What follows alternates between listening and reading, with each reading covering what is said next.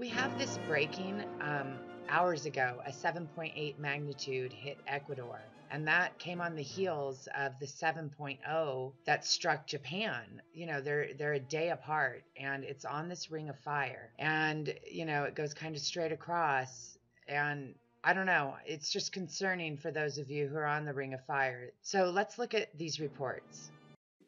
At 9:26 p.m. on Thursday evening, the residents of Kumamoto, Japan experienced a 6.2 magnitude earthquake, the worst shaking Japan had felt since the 8.9 magnitude earthquake back in 2011. And just like all earthquakes of this magnitude, it contained a whole host of aftershocks, including this one, which was shot by a man that was in a 7-Eleven. But things got worse when a 6.0 magnitude earthquake hit right under the city of Kumamoto just after midnight, just about three hours after the first quake. This just further complicates the rescue efforts for the people that were trying to rescue people trapped. Daylight really brought into scope the disaster. And unfortunately, we found the news of the first few casualties.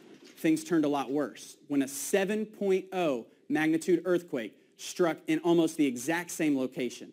This 7.0 earthquake is now the main shock.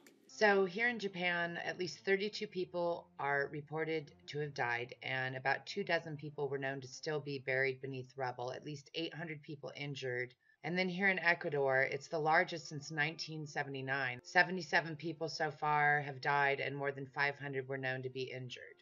God willing, those numbers won't go up any higher as it's not as densely populated there as where the quakes in Japan struck. However, this ring of fire and this activity is concerning. Let's look at this. Bits of information from this area. It was a 7.8 magnitude local time at uh, just before 7 p.m. and the depth at 19.2 kilometers, again, about 300 kilometers just outside of Quito. Uh, this is important because uh, this falls on the Ring of Fire. This is the part of the world that experiences the most amount of volcanoes and earthquakes. 90% of the world's earthquakes actually occur across this area.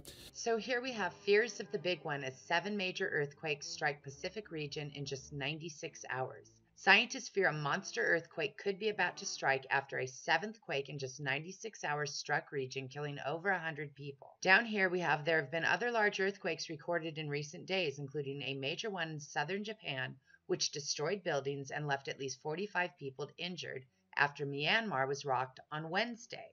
And so finally, we're going to come here where the story is five major earthquakes in 48 hours as a seismologist warns catastrophic mega earthquakes are coming. Over the past 48 hours, there have been five major earthquakes globally, and one prominent seismologist has declared that catastrophic megaquakes could be on the way. In fact, seismologist Roger Bilham of the University of Colorado has made headlines all over the world by warning that current conditions might trigger at least four earthquakes greater than 8.0 in magnitude. If his projections are accurate, our planet could be on the precipice of a wave of natural disasters unlike anything that any of us have ever experienced. Ominous. A single magnitude 8.0 earthquake in a populated area would be a disaster of historic proportions. So imagine if we were to see four of them. Anyways, there's just been a whole lot of shaking going on, and this was something I wanted to get out there. Prayers to everybody in affected areas and to everybody on the Ring of Fire. This is just something I wanted to share, so consider it shared.